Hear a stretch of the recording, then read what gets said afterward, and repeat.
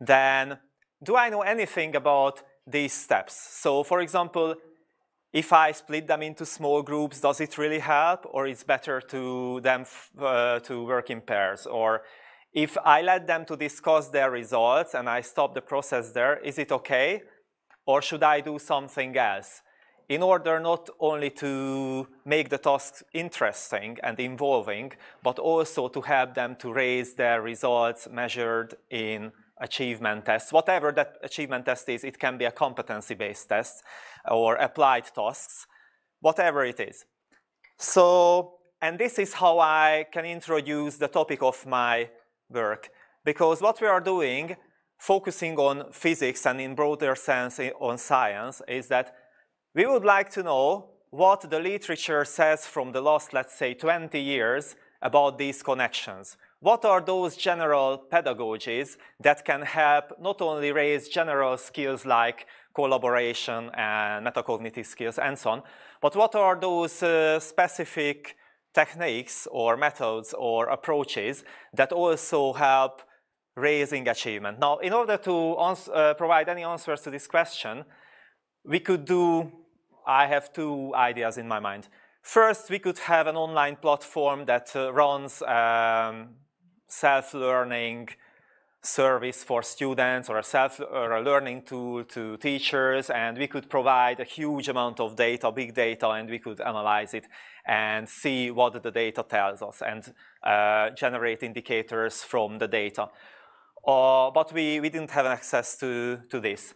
But still the problem would be is that how to, under, how to interpret those data. We should know something about education and pedagogy in order to understand the numbers and, and factors or whatever.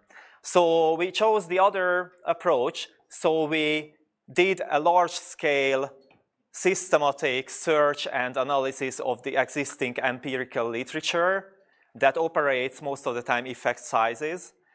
We uh, processed more than, I mean, it's a representative sample of more than 16,000 uh, published articles in reviewed journals, and not only articles, but these had to be meta levels. So it's not, a, it's not one article, but all of these articles are about saying something about the results of many other articles. So re systematic reviews, meta-analysis, synthesis reviews, or something similar.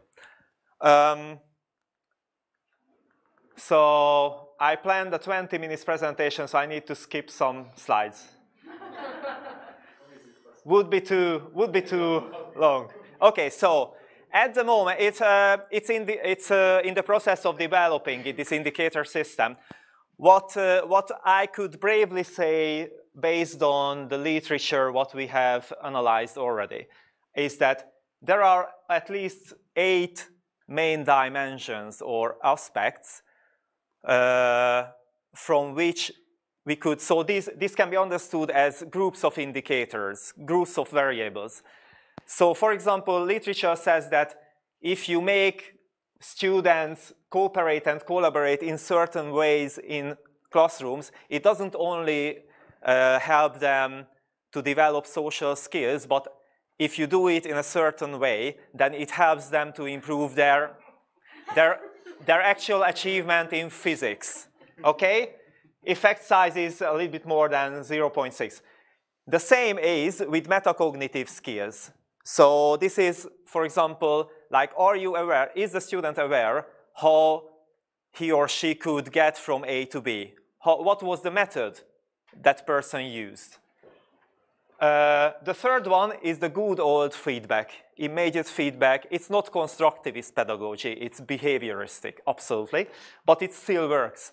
So feedback, formative evaluation, and assessment for learning, uh, you need to use this frequently and this, again, in certain ways. And then there are, uh, I would say, a mixture of uh, constructive learning uh, or discovery learning and a mixture of the behavioristic techniques, a certain mixture that works best according to the literature.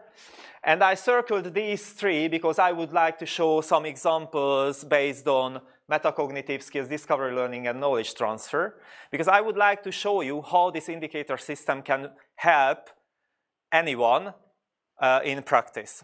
what we use this indicator system for is to help curriculum developers or textbook developers or teachers guide developers, content developers or, or teaching resource de developers to, to shape their materials in a way, it can be online or offline, in a way that best support effective learning. So let's say, it almost never happens, but let's say the teacher teaches by the book, and the book, so what, what should the book look like? What should the book contain in order to support the probably most effective pedagogies in the classroom? And that's what the indicator gives information of. Okay, so I'm just emphasizing there is no direct connection between curriculum and the quality of teaching or textbook and the quality of teaching. But the question here is not the, what, what uh, happens in the classroom, but how these materials can best help uh, to go to the right or, or, the, or a desired direction. Right, so two examples. I'm to present two approaches, the list approach and the structure approach. The list approach is this is a list of indicators, what we could look for uh, when we want, let's say, a textbook or a curriculum to help um, students learn scientific investigations. How should they do this? So it could include all these elements, basically. And referring back to Bell's presentation, discussion, uh, according to the literature, discussion is good, but it should go one step further when students start listening to others, remembering what other students found, and build it into their own work in the next circle. So do something or apply the knowledge, not uh, deriving from their own experience, but from what, someone else's experience. That's a, an important step according to the literature. And the other approach is the structure of these elements. So problem solving, let's say problem solving has at least two components. Who identifies the problem, the teacher or the textbook or the students?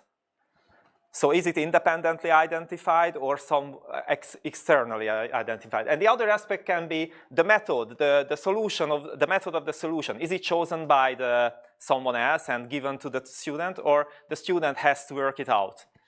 And the other aspect is how it builds on prior knowledge. If you want to make the student to be an active learner, and then you can find that according to the literature, this is the best combination. So if I want to involve the students as active learners, let's say I'm gonna looking, look for problem solving plus prior knowledge centered tasks, but uh, more precisely, these three elements or some combinations of it.